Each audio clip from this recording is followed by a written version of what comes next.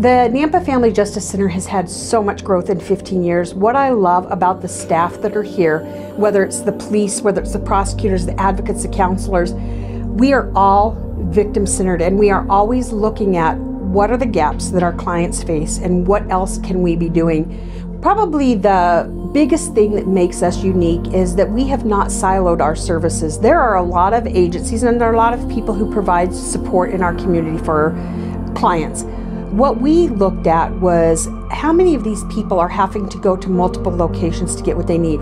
We chose to co-locate as many service providers as we could that would fill those gaps and streamline the process for our clients. We didn't want them to repeatedly have to tell their experience in multiple locations. We didn't want them to take multiple days off of work to get the services they needed. And we wanted to be a location that didn't tell them what they needed, but listened to them and then figured out how we could meet them where they were at to help them move forward with hope and healing.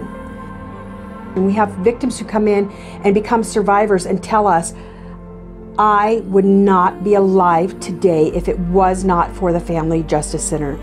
I know personally because of the child abuse cases that I've worked and the, the homicides that I've been involved in that our numbers related to child death and domestic violence related homicides have decreased with the Family Justice Center doors being open and serving our community.